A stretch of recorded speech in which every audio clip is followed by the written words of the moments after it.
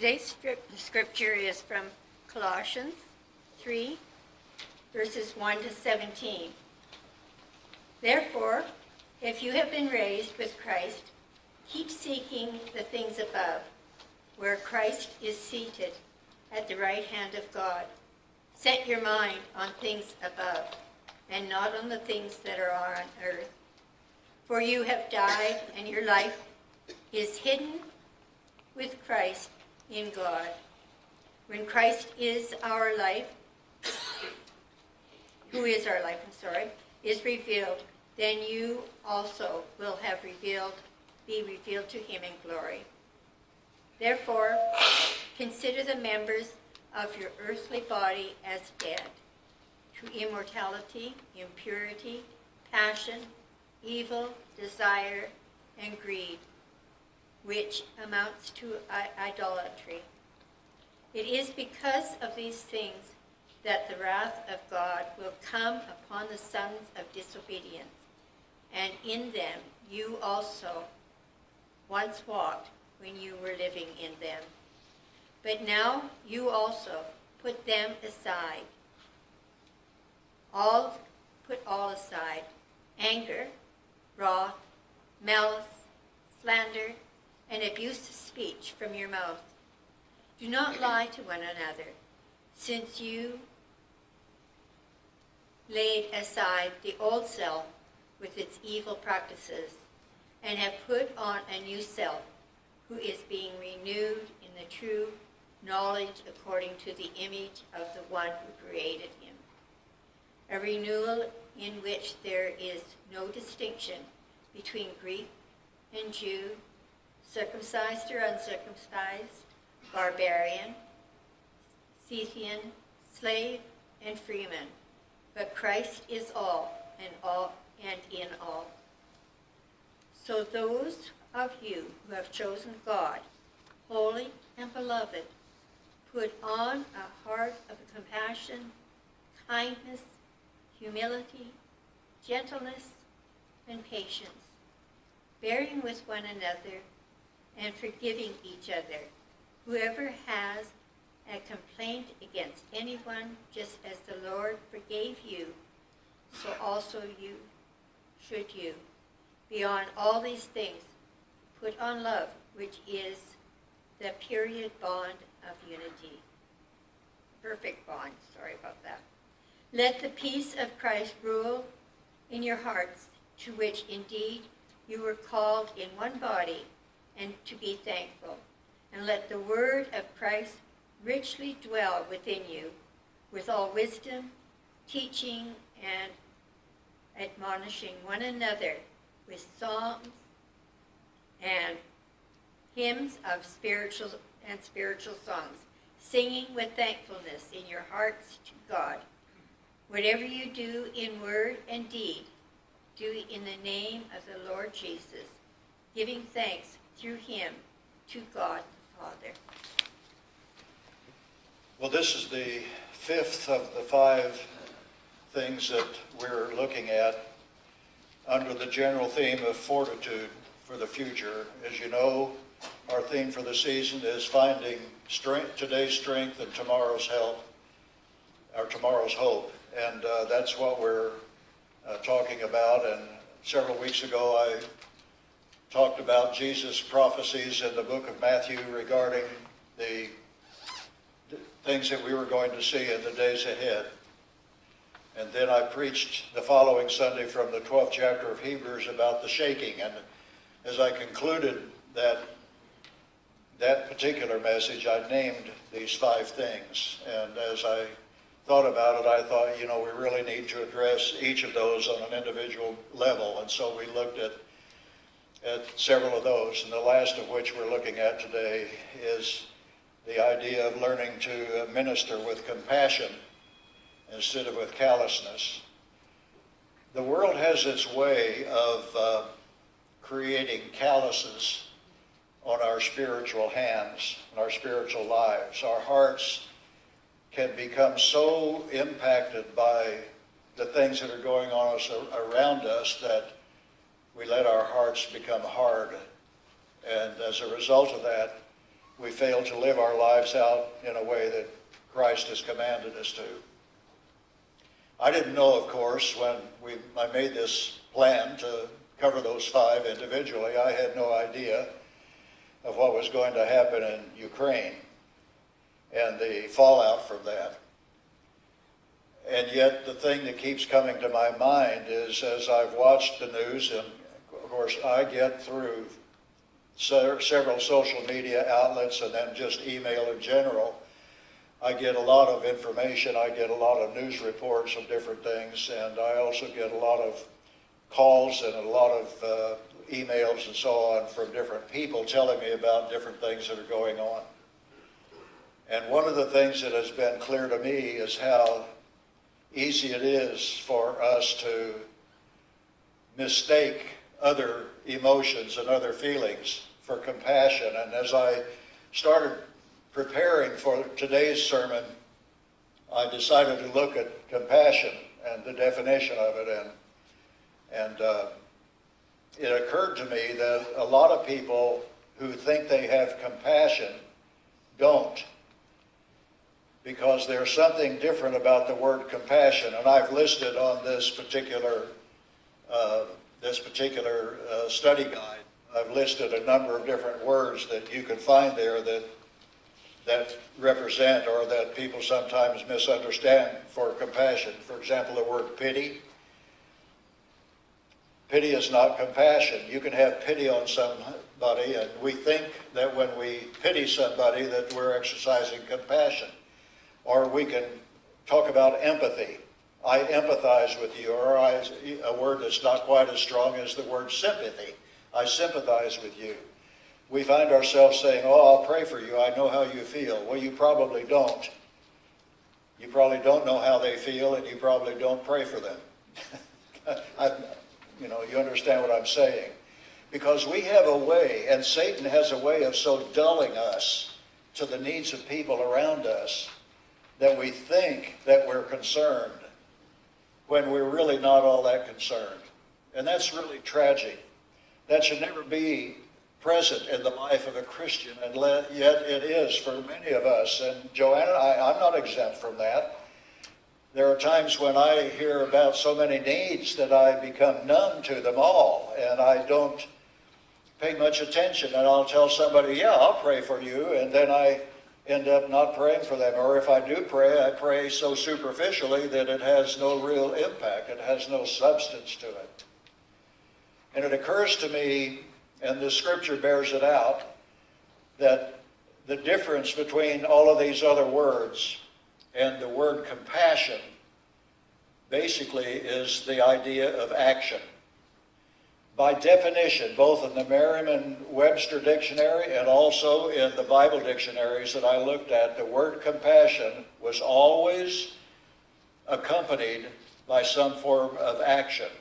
Sorrow and grief over a situation that were so significant and so intense that it caused me to do something.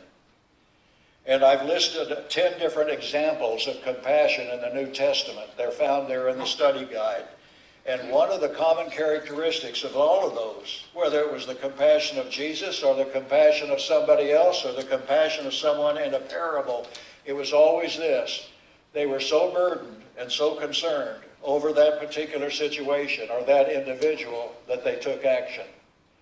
We find over and over again, Jesus had compassion when he saw the 5,000. So what did he do? He fed them. And then not long after that, he was again meeting, there were 4,000 people. And it says that he had compassion. So he had compassion and he fed them. When the two blind men came and saw him, or the lepers came and saw him, he had compassion and he healed them. When he saw the blind men, he had compassion and restored their sight. When the Good Samaritan and the story that Jesus told, when he saw the man laying in the ditch after all the religious people had walked by, the Pharisee and the Levi, Levite, they had walked by. But when the Samaritan came by, a man from Samaria, you don't understand. The man from Samaria was known by the, eh, in the minds of the Jews, the words, the Samaritans were half-breeds. They came from a stock of, Jew, of Jewish heritage that was mixed, and they, they saw them as half-breeds. They saw them as, as being people like lepers who did not deserve. And yet this is the man that came and ministered to the Jewish man that had been robbed and thrown in the ditch. So what does that say to us? I don't, I don't know everything that it says, but one of the things I think it says is it is so easy for us to lose our spiritual sensitivities. It's so easy for us to get so wrapped up and absorbed in our own personal lives that we give little heed to the people who are hurting. Even in this room this morning, I'm sure there are people who are hurting, you're grieving, you're carrying a burden that you don't know if you can stand it through the day. It's so heavy on you and it's breaking your heart. Maybe it's the salvation of someone you know, or maybe it's somebody who's dying and, and you don't know what to do. And yet, the rest of us either don't know what you're going through or we know what you're going through, but we don't really care enough to come and do something to help you carry the burden. The thing that the disciples in Jesus' day were known for was two things. You go to the book of Acts, you find that one of the things that they constantly said about the new believers in Jerusalem, they said, my, wow, how they love each other. That was a strange thing for them because that wasn't the culture. The people who were not followers of Christ, they didn't love each other in the same way that the Christians loved each other. They weren't willing to give up their coats. Jesus talks about this. If you want to know a, a, good picture, and I didn't list this, but if you want to see a good picture of what compassion looks like, go read the, the Sermon on the Mount. And Jesus said this. He said, if somebody abuses you, love them. If somebody says something against you, pray for them. And then he gave the illustration. He said, if somebody comes by and asks for your outer coat, don't only give him the outer coat, but give him your suit jacket too. And he talked about if you really are, are following me, then if somebody comes along and he's carrying a pot on top of his head because he's got coals in that, in that pot to go start a fire down the road as he travels, he said, go ahead and heap some more coals on top of that. Now, some of you think it didn't mean that, but that's that was the, his, the, the traditional practice when people would carry fire along with them in order to be able to build a campfire while they were traveling down the road. It, easy, it was easy for those coals to burn out, go cold. And he said, if you see somebody like that, don't do that. Add some more coals to from your fire so that when when you get there, or when they get there, they've got something to keep them warm and something by which to cook their meals before they travel on their journey. And so you see, the life of compassion is a common characteristic of what it means to be a follower of Christ. And I have to be honestly to tell, honest to tell you this morning that this is such an overwhelming thought for me that I knew from the get-go that I wasn't going to be able to come close to following the study guide. So that's for you to study on your own. But I do want us to think about how, well, first of all, compassion. Compassion is a part of God's nature.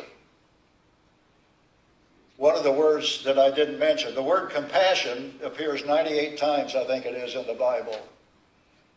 About the same number in the Old Testament as in the New Testament. And the definitions there are very, very clear. It is such an empathy, such a burden, such a concern, and a caring for another person or for another situation that, that it leads you and drives you to take some sort of action. You see, you can have a, an elderly widow living right next to you, and you know that she doesn't have the strength and the energy to go out and cut the wood, chop the wood that she needs in order to heat her house in Kharkiv, Ukraine, or some other place like that. And and so you say, well, I'm so sorry for the, that lady, I think I will pray for her. That's not compassion. But if you pick up the axe and go over and chop that wood because you care, care about her welfare, that's another story. One of the men that I mentioned a little bit ago, Paul Logan, he has a ministry called Arise Ukraine. You can go on the website and find his, that's one of the places you could go to give money if you wanted to give. Several years ago, after the 2014 attack by Russia on the east, on eastern uh, Ukraine, and, and when they annexed and took Crimea and then two of the provinces or the states in the eastern Ukraine, Paul got the burden for the men and women, particularly the elderly, that didn't have any way to leave under the fighting. Their houses were bombed and their houses were destroyed. Many of them were burned. Many of them were living in the cold, and I mean cold, with no windows and no doors because they'd been blown out. And Paul tried to figure out a way that he could help, and he knew that the need was so massive he couldn't help everybody, but he could help some. And so he sent the word out to many of us who hear from him and said, We're trying to gain, trying to raise money to provide coal and wood for the people to heat their homes and to cook on because in most of those houses back over there in the older homes, you have a, a wood burning or coal burning stove with a top like a Klondike stove, so to speak, and it sits out in a little side room just outside the kitchen and they try to heat the whole house from that one little stove, and it's flat, so they do all their cooking on it. And so he decided he wanted to do that. And today, because of the generosity of a lot of people, uh, he was able to provide heating fuel for several hundred families in that area. And he does it through he, uh, local churches. He works with the local congregations of people, and he said, You know people in your neighborhood who, who need this so desperately. Well, that was an expression of compassion. So, what do you and I do? How, first of all, can you and I develop a compassionate heart? Because it's awfully easy to become calloused and uncaring, isn't it? I mean, you come, like I said already, you, you come to a point where you see so much of this stuff on the news that your, your mind just clicks off and uh, you don't, you listen, but you don't hear. And you just go on your way and you say, oh, those poor people. You know, when you think, you know, I just, I don't know, have you taken time to think about what you would be going through if you were in Ukraine today? What if you were down in the metro station or down in the catacombs. People don't realize that the city of Ukraine during the Second World War, that the city of Ukraine developed a tunnel system that literally honeycombs the hills on which the West Bank is, uh, is built. Actually, yeah, it's, it's the West Bank, what they call it the right bank. And underneath on those hilltops where all the monasteries and all of the churches and the business, businesses are located.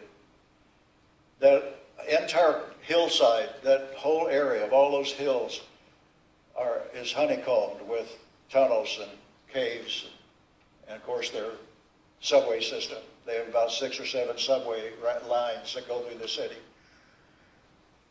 And people are hunkered down in there. I saw a, I saw a picture last night of a young mother and her little baby and she was being interviewed by one of the news people, and she was describing what it's like to be down there. And there have been some people have been down in there for several weeks as they were anticipating what was going to come.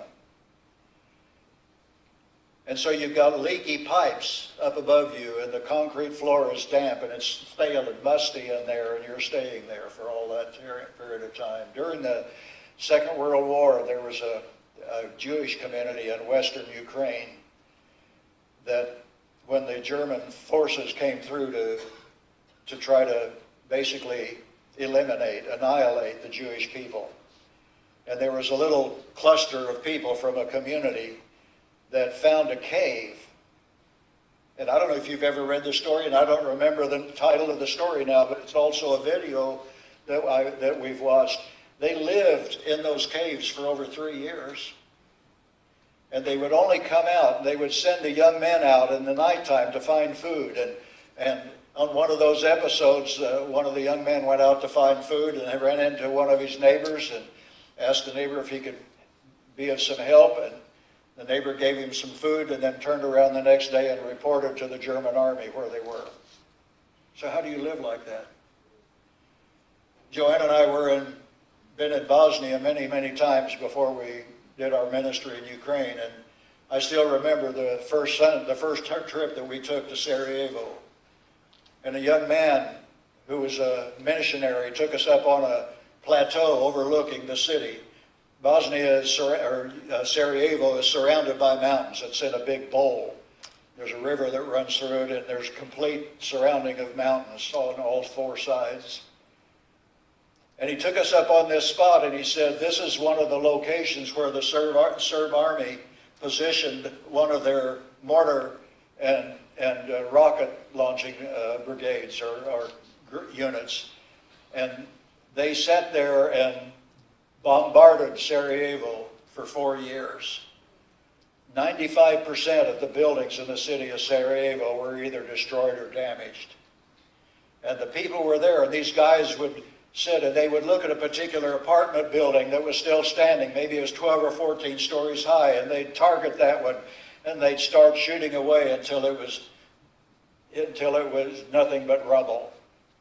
They did that with the newspaper, newspaper office uh, with the idea that they could stop the newsprint. Well, they moved all their printing presses to the basement, and Joanne and I have been by that place many, many times. It's now a national monument in, this, in the country because the building never completely collapsed, but it's still rubble. It's two or three stories high.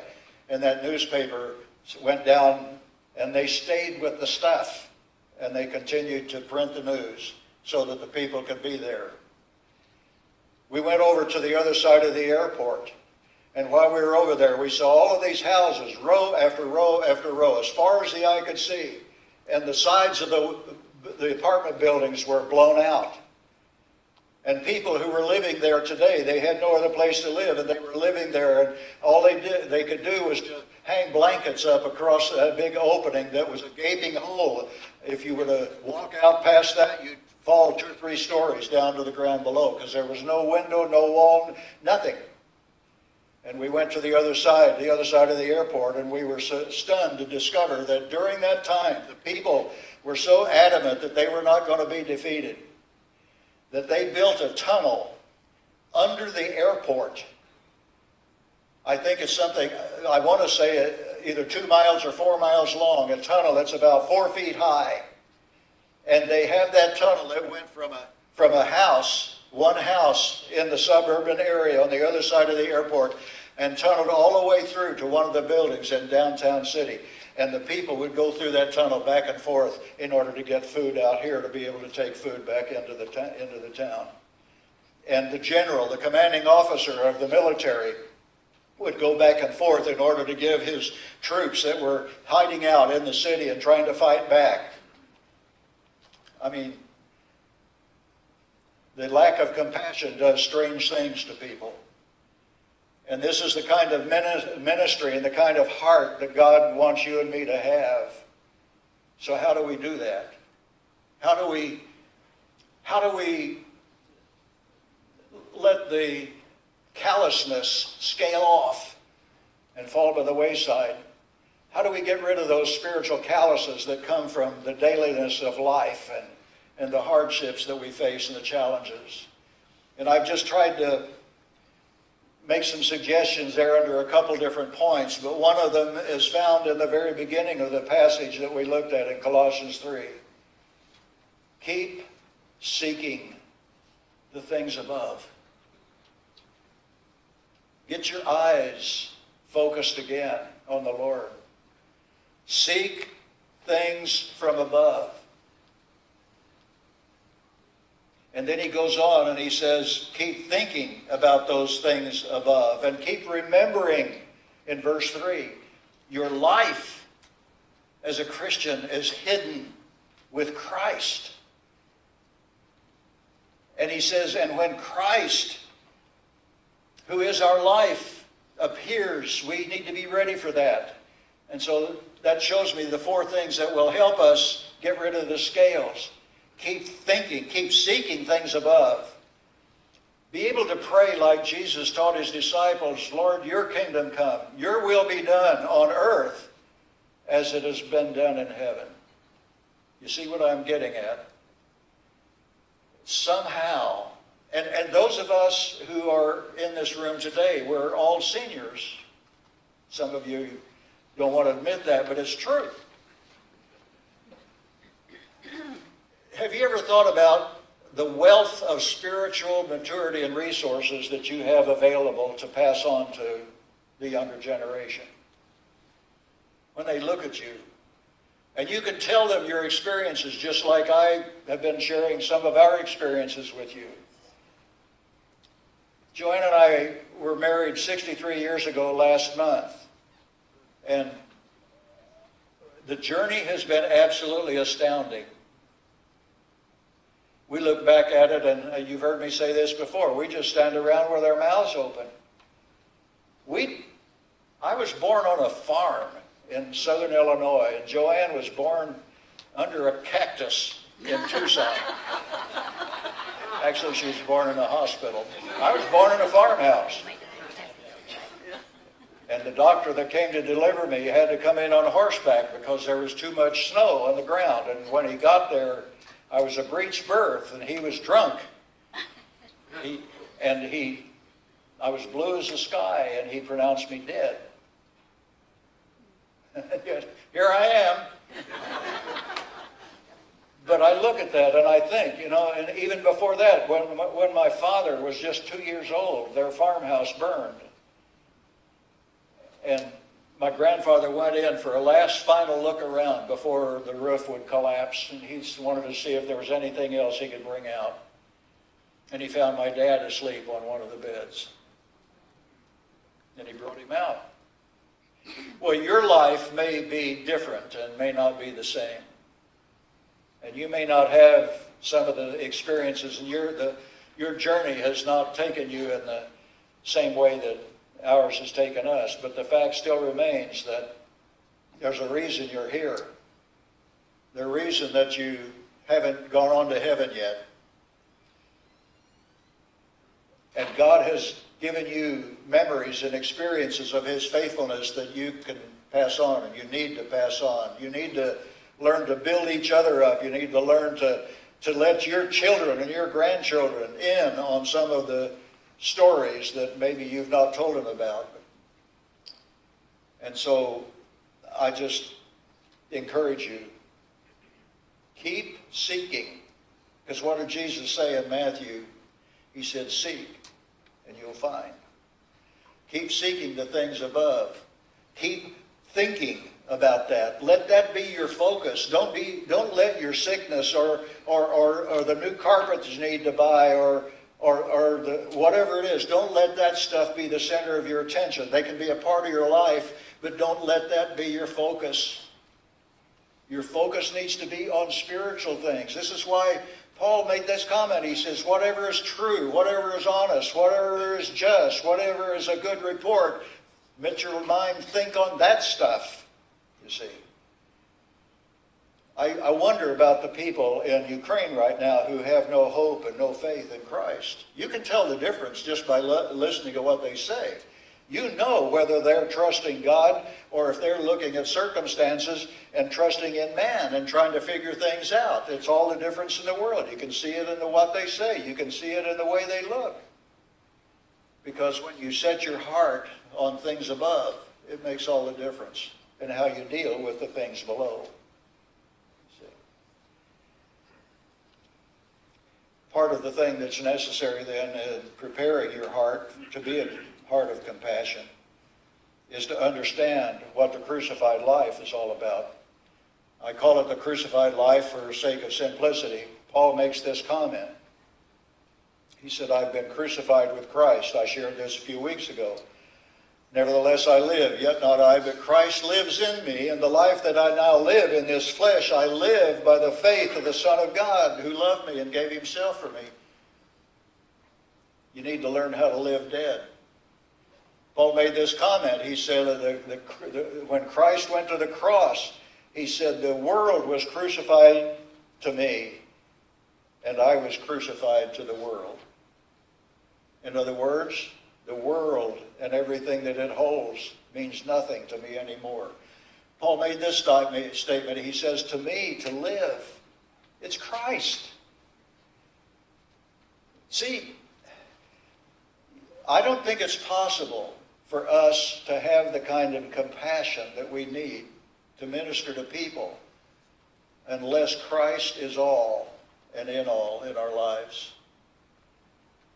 Because if we don't allow that to happen and allow Christ to, to bring to our, our old carnal nature everything that hints of the world and hints of the flesh, if we don't allow Him to bring the cross against that, we'll always be living a mixed life, a merging life, a, a syncretic life, where you take something from here and something here and try to merge it and make it work.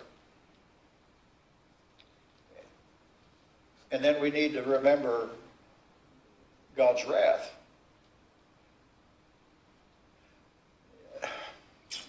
We have a tendency to uh, forget that.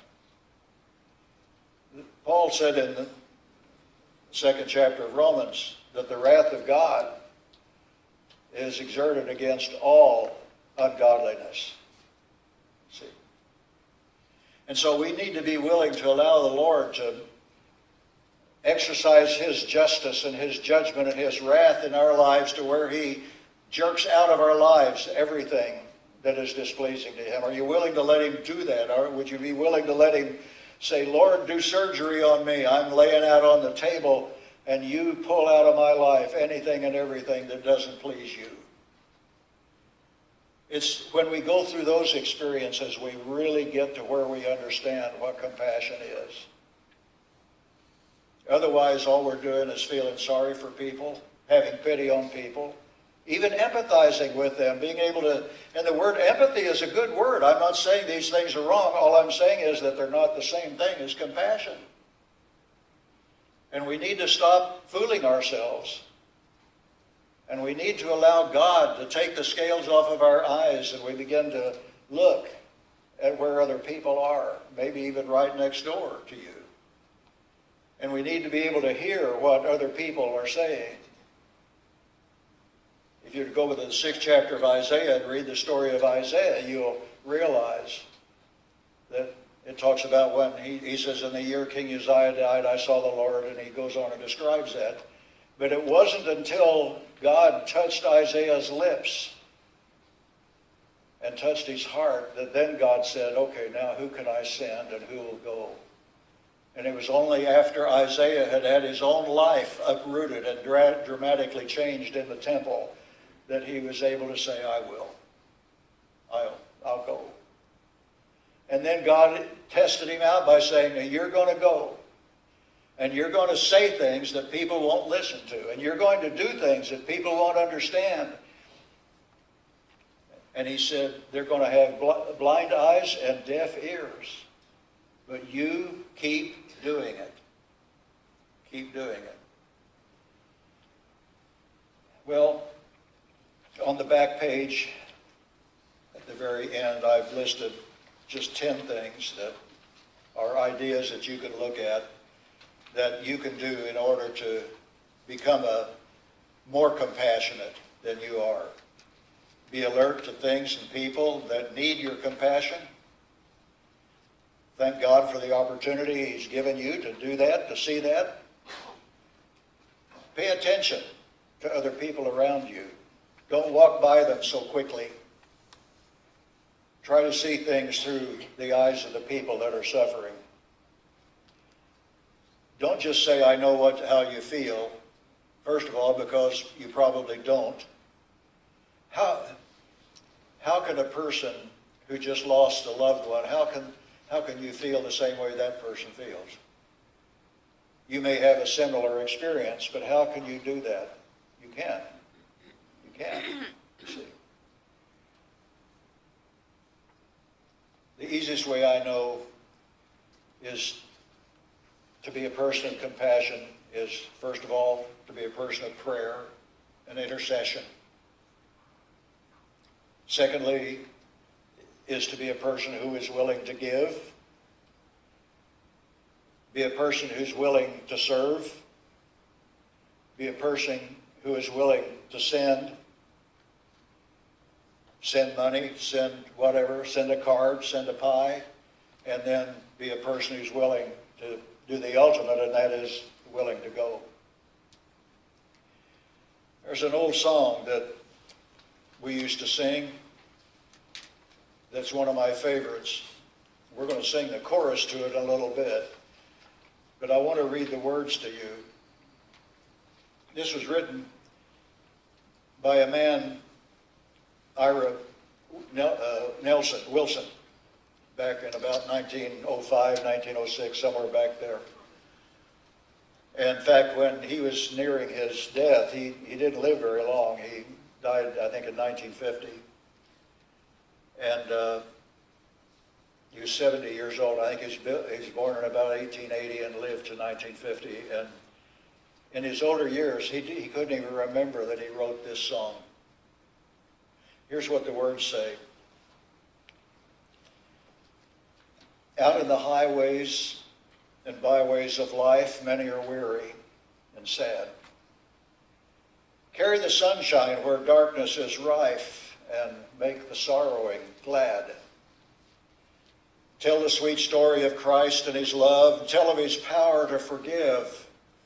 Others will trust him if only you prove true every moment that you live. Give as was given to you in your need. Love as the Master loved you. Be to the helpless a helper indeed. Under your mission be true. And the refrain says, Make me a blessing. Make me a blessing. Out of my life may Jesus shine.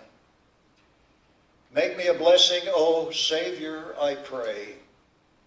Make me a blessing to someone today. Any of you know that song?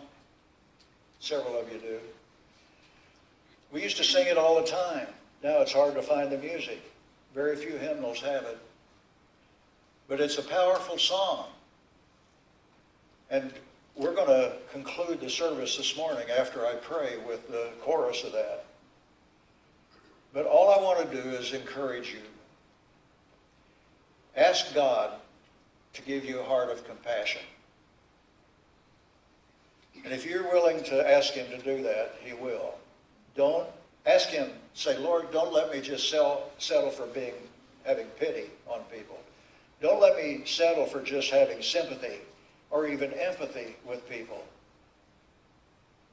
Turn me into a person of compassion because that's the very nature and character of Jesus.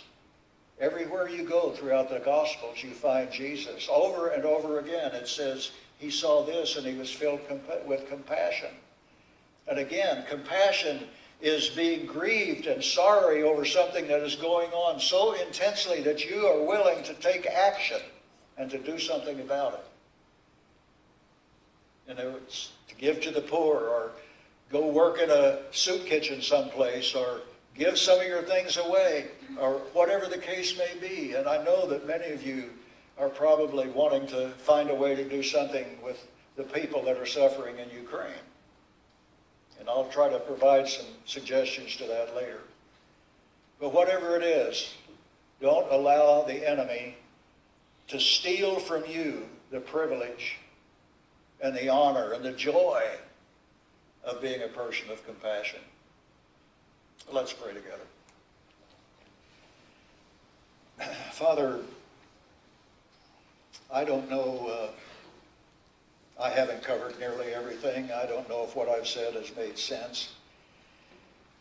But whatever else you can get out of this, I ask that you will cause us to be people who really, truly do care.